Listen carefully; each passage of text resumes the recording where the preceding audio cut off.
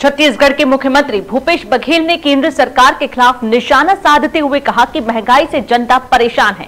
Gas के दाम बढ़ने से इसकी उपयोगिता घटने लगी है। वहीं भाजपा के नेता और सांसद महँगाई के मुद्दे पर मौन हैं।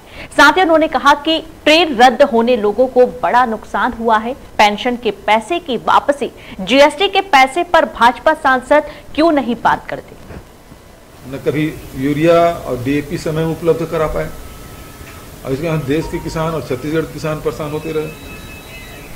कोयला रॉयल्टी में हमारे चार हज़ार एक सौ छियासठ करोड़ रुपया जो केंद्र सरकार के पड़ा है, आज तक के वापस नहीं दिया है। हर जगह हम लोग मंच में उठा रहे हैं। स्टील के निर्यात में इन्होंने ड्यूटी लगा दी और जिसके कारण से आयरन ओर में और स्टील के कीमतों में